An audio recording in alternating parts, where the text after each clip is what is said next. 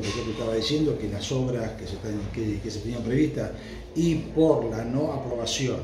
del presupuesto nacional hay que generar los acuerdos políticos y las estrategias para que esas obras no, no se caigan, que no se dilaten en el tiempo, porque también tenemos que hacer sentir eso. O sea, si por estas cuestiones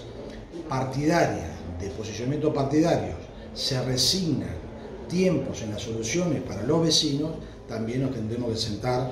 todas las fuerzas políticas para trabajar en forma conjunta de que esto no afecte al desarrollo de todos. Porque nosotros no solamente estamos gobernando por los colores partidarios de cada uno, sino estamos gobernando para todos.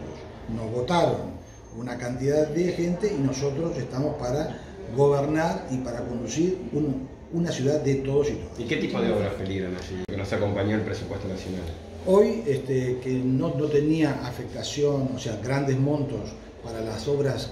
que para mí es prioritaria, el tema del agua,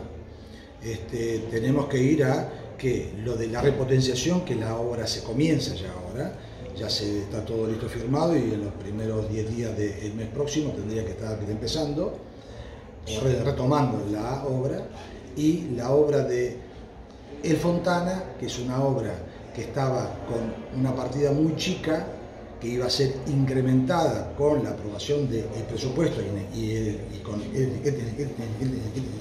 trabajo de los legisladores propios y de la, y de la cuenca, este, vamos a tener que ir ahora a posicionarnos todos,